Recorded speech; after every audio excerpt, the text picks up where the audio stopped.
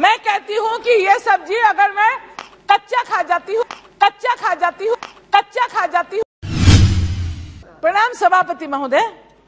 मैं अखिल भारत तृणमूल कांग्रेस की ओर से आभार व्यक्त करती हूँ कि देर आए, पर दुरुस्त आए। महँगाई एक बहुत अहम मुद्दा है जो आज के जनता पर भारतवर्ष भारतवर्ष में हर जनता का और हम सभी को बहुत चिंतित होकर रखा है। क्योंकि महँगाई इस जगह पर आए हैं, ये सरकार कोई कदम भी नहीं उठाया। महँगाई पर चर्चा करने के लिए, इजाज़त देने के लिए मैं अध्यक्ष महोदय का शुक्रगुजार हूँ।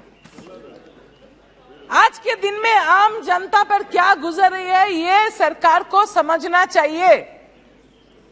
मैं तो सहमत थी, मंत्री महोदय यहाँ है नहीं, जब सत्ते पे नहीं थे तब मंत्री महोदय ने यहाँ, मैं नाम नहीं लेना चाहती हूँ, एलपीजी सिलेंडर लेके बहुत शोर शराबा किया था, की थी।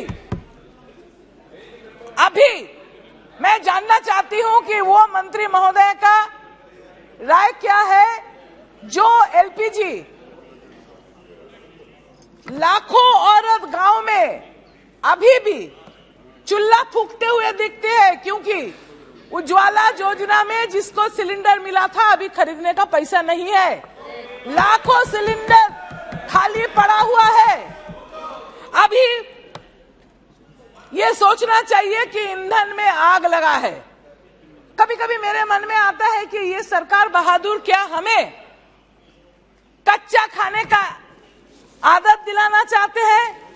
कच्चा खाने का दूसरा मतलब कोई मत समझो कि दूसरा कोई मतलब है।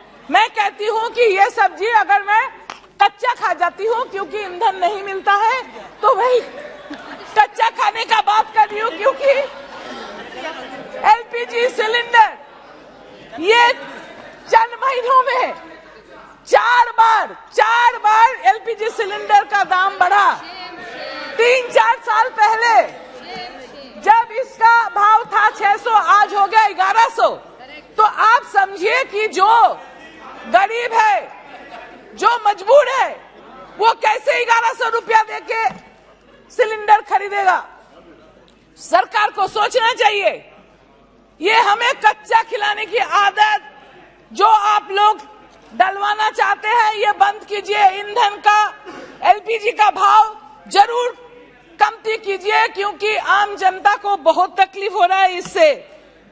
आपको ये सोचना चाहिए कि मंत्री महोदय कितना शोर शराबा करके सत्ता पे आ गया बस भूल गया आम जनता को।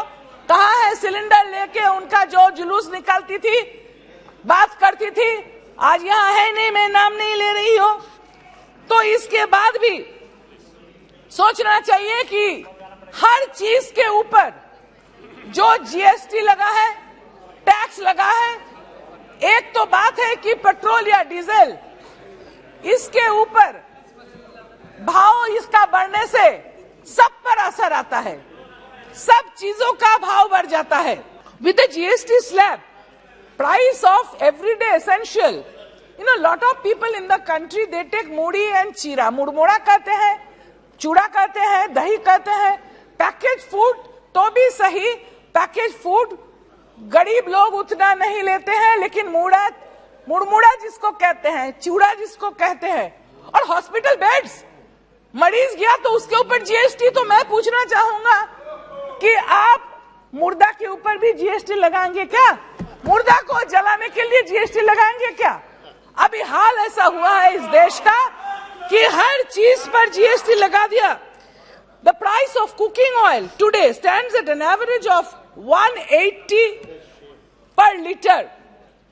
In this year, whereas in 2014 it was only 105 बोल रहे थे आप, यूपीए के टाइम में मैं याद करना चाहती हूँ, मैं बहुत इज़्ज़त करती थी, अभी हमारे बीच नहीं है, लीडर थी यहाँ सुषमा स्वराज जी, उन्होंने कहा था 2004 में कि हम जब छोड़ के गए थे, पेट्रोल का लीटर था पैंतीस रुपया, और चंद महीनों में यूपीए आके उसको छसठ रुपया बना दिया।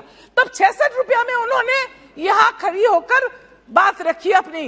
छसठ में। अभी सोचिए पेट्रोल का। सौ से भी ज़्यादा 110 के बराबर है। गाड़ी नहीं चलती। अरे तू बैठ। तुमको क्या पता है? बैठो। तुमको क्या पता है? बैठो। तीन बार तो अभी महँगाई इस जगह में आके पहुँचा है कि आम जनता का जीना हराम हो गया। चर्चा यहाँ हो रहा है बहुत अच्छा। सभी बात रखने की अवसर सभी को मिलेगा। सब ठीक ठाक बात करके मैं सरकार से ये दरख्वास्त करूँगी कि आप एक जगह में आइए कि इतना टैक्स मत लगाइए कि आप ही को सिर्फ़ मुनाफा हो और गरीब मरते रहे। गरीब की तरह थोड़ा देखिए, गरीब के बारे में सोचिए और टैक्स कमती कीजिए कि वो भी जी सके। नमस्कार, सर, थैंक यू।